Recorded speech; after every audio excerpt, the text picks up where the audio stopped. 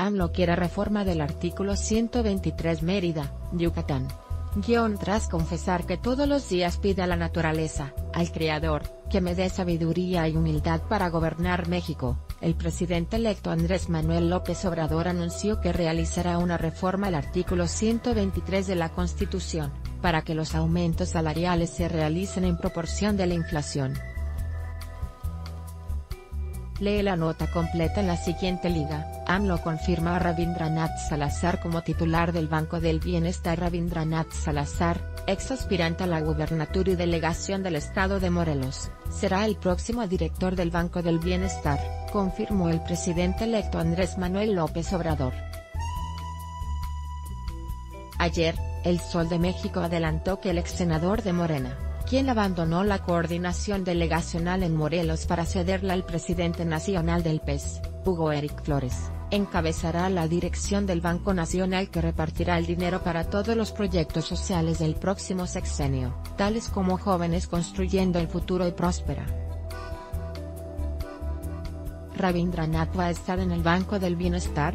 Sí, él va a ser en el Banco del Bienestar confirmó en una conferencia póstuma el encuentro con el gobernador de Yucatán, Mauricio Vila Dosal.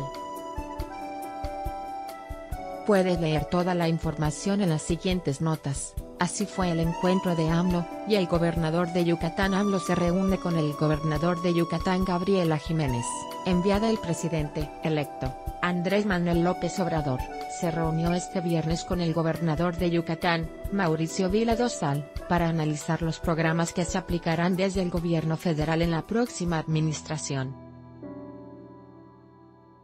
Al llegar al Palacio de Gobierno del Estado López Obrador fue recibido por varios ciudadanos que llegaron al lugar para saludarlo, previo al mitin que realizará como parte de su gira de agradecimiento en esta entidad.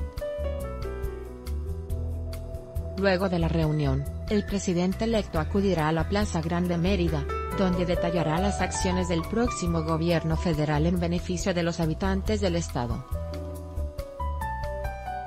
Alejandro Murat confía en que AMLO apoyará a Oaxaca en reconstrucción tras sismo El gobernador de Oaxaca, Alejandro Murat, confía en que la nueva administración federal contribuirá a la reconstrucción de las zonas afectadas por el sismo del 7 de septiembre de 2017, sobre todo en el istmo de Tehuantepec. El mandatario afirmó, el presidente electo, Andrés Manuel López Obrador, es un hombre que quiere a Oaxaca inmensamente, y que es sensible a las necesidades del Estado, y sobre todo a las del istmo que en este momento tienen que ver con la reconstrucción. Detalles sobre consulta del Naim se precisarán este lunes. Ramírez Cuevas Jesús Ramírez Cuevas, futuro vocero del presidente electo, Andrés Manuel López Obrador, informó que será hasta el lunes próximo cuando se den a conocer los detalles de la consulta para la construcción del nuevo Aeropuerto Internacional de México, Naim, la cual se busca, dijo, sea representativa y democrática